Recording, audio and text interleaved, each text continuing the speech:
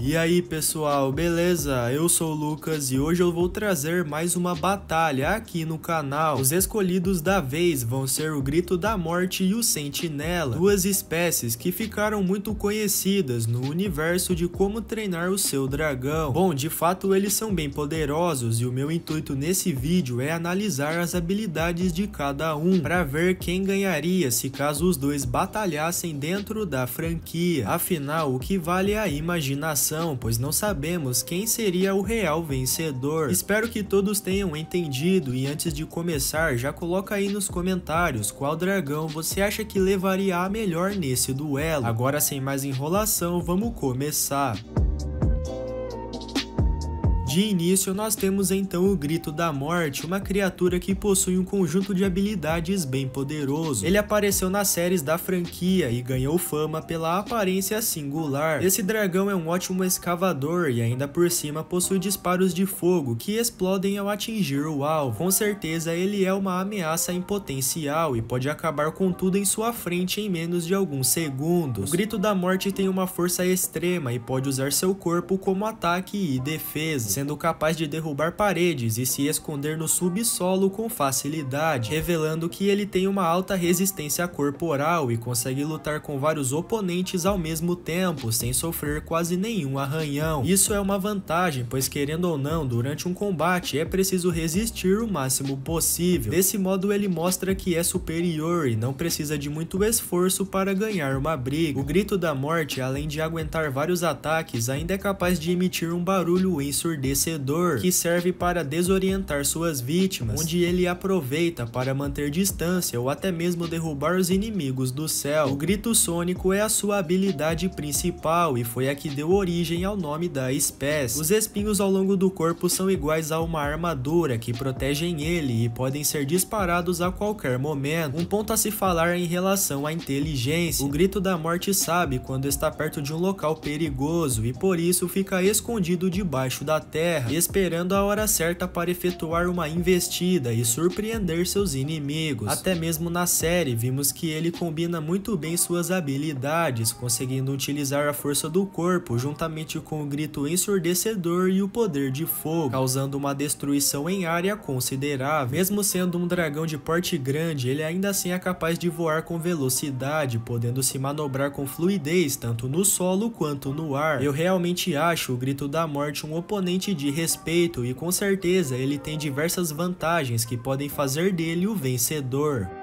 Seguindo para o próximo, temos o grandioso Sentinela, um dragão que apareceu em Corrida até o Limite e ficou conhecido por sua incrível função de vigia. Ele é responsável por simplesmente proteger a ilha de Vanaheim junto com o resto dos Sentinelas. Deu para perceber que esse dragão é duro na queda e assim como o Grito da Morte, ele também faz parte da classe Pedregulho. Então já sabemos que resistência não vai ser um problema aqui, pois como eu disse, a função dele é vigiar a ilha e para isso é necessário necessário muita força corporal, mas quando não é possível chegar perto da ameaça, o sentinela é capaz de emitir um grito poderoso que empurra para longe tudo que estiver em seu alcance, apesar de que ele também consegue bater seu par de asas para causar uma explosão de vento com a intenção de derrubar os inimigos que chegam perto dele. Esse dragão tem uma estratégia muito boa que consiste em ficar imóvel semelhante a uma estátua. Dizem que ele pode ficar nessa posição por dias e vai sair do do lugar apenas para combater algum intruso. Agora um fator importante desse dragão são os sentidos. Como o sentinela é cego, ele passou a evoluir suas outras capacidades para compensar a falta da visão, conseguindo localizar uma criatura a metros de distância, onde não reage a curto modo e espera o momento certo para realizar uma emboscada. Como foi mostrado na série, ele é muito forte e aguenta receber ataques com tranquilidade. Afinal, as escamas de pedra são um diferencial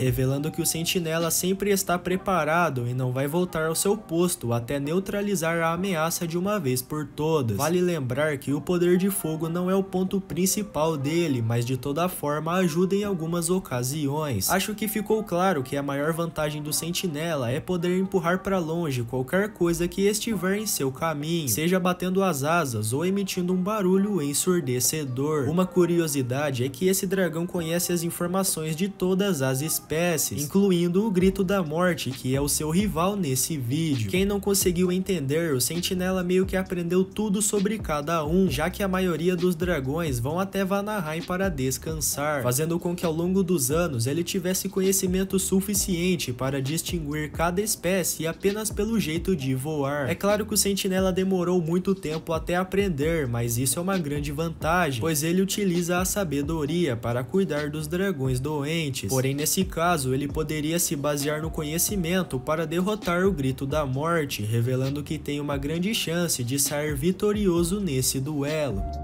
Galera, chegamos agora no momento principal. Vamos ver qual dos dois seria o vencedor, se caso eles batalhassem dentro desse universo. Como todos já viram, o confronto poderia ocorrer em qualquer lugar, mas para começar de forma justa, digamos que eles iriam lutar no céu, pois tanto um quanto o outro é capaz de voar e se esquivar com tranquilidade. Aliás, o fator que temos que considerar é que os dois possuem quase o mesmo tamanho, então não tem nenhuma desculpa e logo de início, o sentinela ela com certeza já iria identificar o grito da morte e apenas ficaria esperando algum avanço. Lembrando que o grito da morte é bem mais agressivo e provavelmente iria desferir um ataque primeiro, mas antes não podemos esquecer que o grito da morte facilmente deixaria o sentinela desorientado, pois o rugido sônico afetaria seus sentidos. Então o sentinela para combater esse ataque poderia bater as asas para causar uma explosão, mas ao mesmo tempo ele fica vulnerável porque precisa se manter manter atento para não receber um golpe surpresa, apesar de que o grito da morte é conhecido por derrubar paredes de pedra e as escamas do sentinela não seriam fortes o bastante para aguentar uma investida desse porte. Lembrando que o grito da morte é vulnerável à luz do sol, então pode ser que ele se perca na hora de identificar o sentinela. Supondo que eles desçam até um terreno aberto, a terra seria uma vantagem para o grito da morte, que aproveitaria para se afundar no subsolo e depois sair com força total, o sentinela de fato estaria preparado e não seria pego em uma emboscada. Resumindo, a batalha não duraria muito tempo, já que os dois possuem um nível de poder muito elevado e desse modo o grito da morte ganharia vantagem se ele utilizasse seu rugido sônico e a força corporal para atacar, enquanto o sentinela poderia usar sua explosão de vento para manter distância até que em questão de tempo ele efetue um golpe certeiro, fazendo com que o duelo